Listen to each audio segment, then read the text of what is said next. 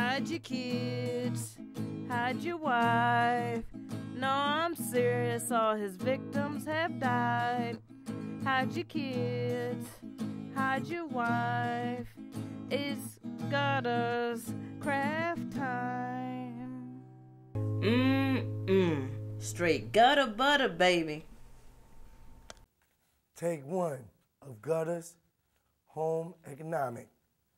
How you doing? I'm Gutter from the prison cooking show, Bon Appetit. Today, I'm about to show you how to make a reindeer. It could be Rudolph. First off, you want to get a styrofoam cup.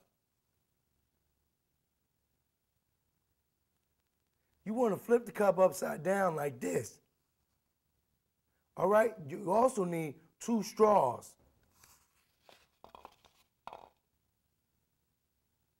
One straw, two straws. You also need an old hammer like this. You also need a safety pin. So the four things you need is a hammer, a styrofoam cup, safety pin, and two straws. Basically, how to make the reindeer, you use a styrofoam cup. You go one right in the North Pole. The other one right on the South Pole. It's always fun when the kids come around. It's always fun when the kids come around. It's always fun when the kids come around. It's always fun when the kids come around. It's always fun when the kids come around. When the kids come around. You see, they're the antlers. You put the safety pin on it like this. I'm having some technical difficulties. I will be right back. Give me one second. Motherfucker, how the fuck do you... God damn it. I can't get this shit. I need that. Primo.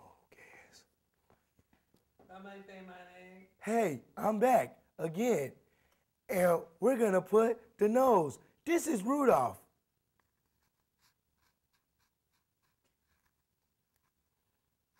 I'm still having technical difficulties, so I'm gonna sing you a song.